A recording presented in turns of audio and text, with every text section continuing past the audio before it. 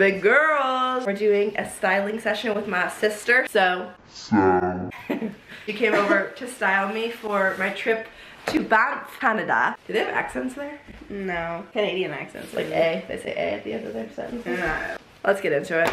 Pamela Anderson. I think you have to have your hair down with it. Well, duh. Let me show you my Pinterest board. That's why I thought that. It was super like classy. Also like this, like I love the like hat with the fur coat. That reminded me of your jacket. Like maybe a mm-hmm. jeans outfit for like with Uggs or something. Yeah. Things and this. I think that would be really cute. I would never pick that out, but I'll try it on. I look like a Teletubby. I just think this is not cool. It doesn't like look cool on me. Yeah, dude, those black boots. Those boots are so fun. It looks really cute. Okay, so this is really cute. This is the vibe. Fittings. Probably like a real bra and like a tight shirt. This one. Yeah. There's like a hot cocoa tour. Oh well. So like this would be great for that. Emma, you gotta get a hot cocoa with amaretto in it. It's so good.